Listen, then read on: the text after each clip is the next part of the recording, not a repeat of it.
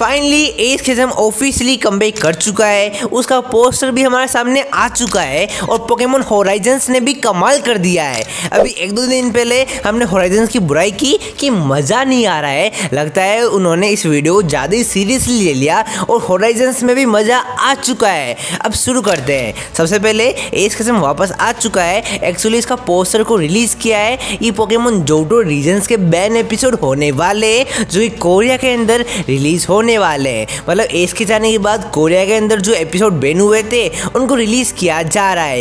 एक पल के लिए मुझे लगा फाइनली ओपी एस खत्म वापस आ गया। हाँ आ तो गया है, लेकिन जो हम सोच रहे थे, वैसे नहीं। बट हाँ जो भी हो रहा है अच्छा हो रहा है। पोकेमोन वाले कुछ ना कुछ तो अच्छा ही कर रहे हैं। एस खत्म से रिलेटेड अगर कुछ नहीं करते, जिसने अच्छा तो कुछ कर रहे हैं, वो अच्छा है। लेकिन होराइजन्स के अंदर हमको एस किस्म का और उसके ग्रीनिंजा का हिंट मिल चुका है। यानी कि होराइजन्स के अंदर हमको टीम एक्सप्लोरर्स के पास यार जाए ग्रेड पोकेमोन देखने को मिला। वो भी ऐसा वैसा नहीं, साइनी वाला।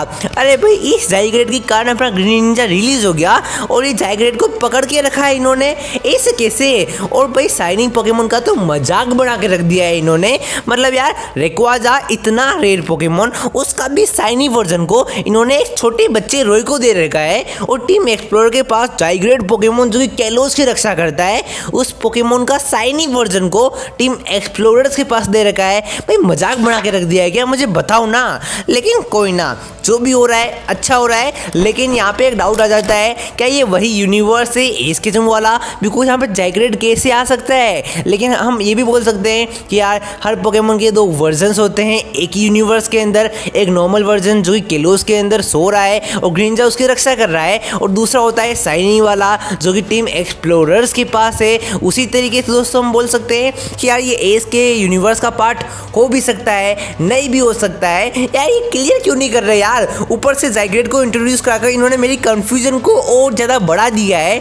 और हम यहाँ पे समझ सकते हैं कि पोकेमोन वाले यहाँ पे क्या चीज़ को सेटअप कर रहे हैं। यहाँ पे जाइग्रेड को इंट्रोड्यूस कराकर वो पोकेमोन लेजेंड्स जेड ए को प्रमोट कर रहे हैं एडवर्टाइज कर रहे हैं। हमेशा यही होता है इनका। यानी कि पोकेमोन जर्नीस के अंदर लेजेंड्स आरसीज आ रहा था तो आरसीज को एनिमे सीरीज़ में इंट्रोड्यूस करा दिया था और यहाँ पे उसी तरीके से जाइग्रेड को ये लोग इंट्रोड्यूस करा रहे हैं। और पोकेमोन वालों ने यूट्यूब के ऊपर ट्विटर के ऊपर पोकेमोन लेजेंड्स ZA का मेगा एवोल्यूशन वाले लोगों को डालकर हिंट दिया है, कुछ आने वाला है। अब यार वो कुछ आने वाला है, वो ये जाइग्रेड के लिए था या फिर कुछ नया ट्रेलर आने वाला है?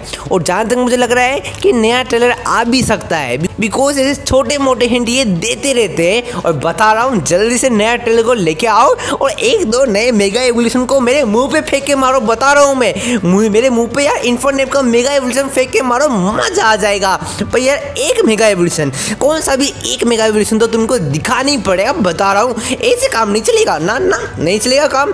नए ट्रेलर के अंदर मुझे किसी स्टार्टर का मेगा एवोल्यूशन बता दो, या फिर ड्रैगनाइट का बता दो फ्लाइगोन का बता दो, लेकिन एक मेगा एवोल्यूशन मुझे देखना ही देखना है, बता रहा हूँ मैं। तो ये थी सारी की सारी पोकेमोन अपडेट इस हफ़्ते की तुम्हें कैसा लगा? बताओ जरा। तब तक के लिए बाय बाय